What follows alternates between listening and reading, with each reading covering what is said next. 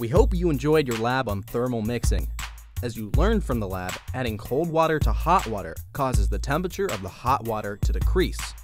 The temperature decreases because the water is losing energy and trying to achieve a state of thermal equilibrium. What this means is that eventually the hot and cold water will reach the same temperature.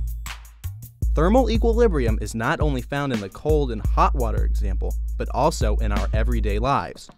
In the summer, it can get so hot in our house that we are forced to run our air conditioner. With our AC running, the temperature inside is cool and keeps us from sweating.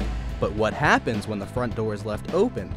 Cold air will escape from the house and warm air will come into the house. The transfer of heat to the cold air is the process of thermal equilibrium. When the cold and hot air collide over time, they will balance out, resulting in a hot summer house. Another example is when you make a cup of hot tea on the stove. The tea is too hot to drink, so you put an ice cube in it. The tea will cool down as the heat is transferred from the tea to the ice, causing the ice to melt. Thermal equilibrium works the same for cold objects. If you leave a cup of ice water out long enough, the ice in the cup will melt, and eventually it will be the same temperature of the surrounding environment.